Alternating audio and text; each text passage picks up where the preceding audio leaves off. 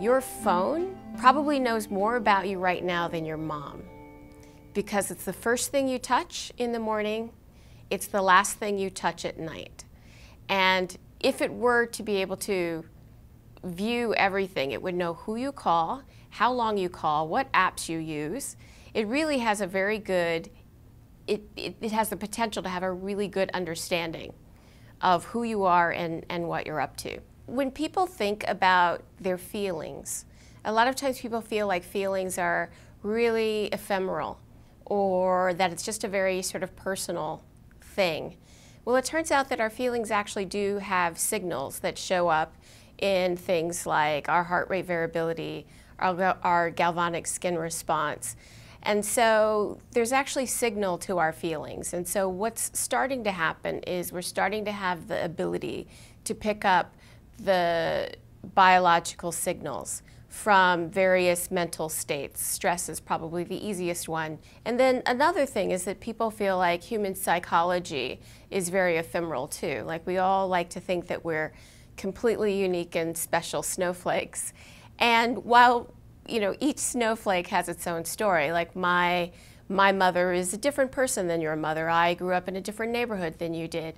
When you start to take the data from our digital exhaust, it actually is very, very good at predicting what we're interested in, which is also a good proxy for human psychology. And so, you know, a good place to ask oneself is like, is this science fiction or is it real? Would be just look at the ad tech business.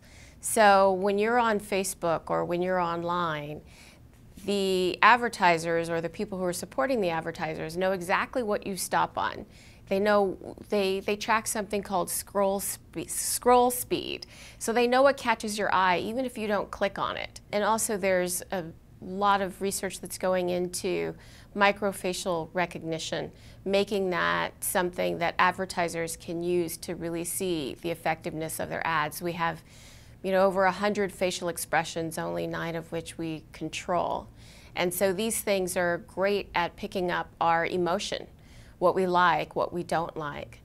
And if you add that into a lot of data about what sites you went to, what you checked out, it becomes fairly easy to create a, a, a, profile of someone. Right now, a lot of these things are really just being used for advertising, but you could also use it to, you could turn it and put it in the hands of the consumer so that they can understand themselves better. Because we aren't actually really good often at managing ourselves or knowing what we're knowing always knowing what we're up to over time it's one of the reasons why behavior change is such a hard task like it's actually hard to change your behavior to take that and use that to harness that for you so you could say this is what I'd like to do. This is what I'd like to change. These are the things that I'd like to improve on.